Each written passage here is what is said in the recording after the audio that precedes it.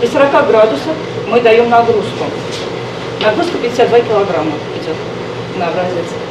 Семь раз отмерь. Негласный девиз лаборатория асфальтобетонного завода. К изготовлению асфальта подход научный. Прежде чем оказаться на дороге, смесь должна выдержать не одно испытание. Директор завода Александр Филатов свой асфальт на улицах города узнает тут же. Здесь изготавливают несколько видов асфальтобетона. В один для прочности и эластичности добавлен полимер.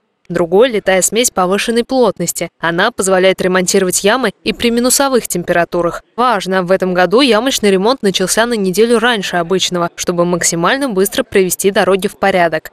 Работы ведутся по всему городу в круглосуточном режиме, а их график регулируется таким образом, чтобы исправлять именно те улицы, где это нужнее всего, в том числе по предписаниям ГИБДД и сигналам автолюбителей. У нас завод работает как бы круглосуточно, по тому графику, по которому приезжают дорожно-строительные организации э, загружать свои кохеры.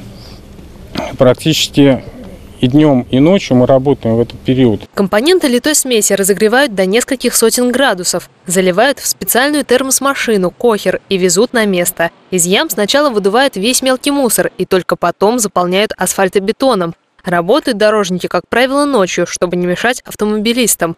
10 минут и смесь застывает. Это является элементом содержания автомобильной дороги, то есть это поддержание э, эксплуатационного состояния дороги до возможности входа в настоящий ремонт э, с резервованием закладки горячего асфальтобетона. Нормальный можно определить только по погодным условиям, как я уже назвал, температура окружающего воздуха и покрытия плюс 5 градусов, соответственно, сухая погода.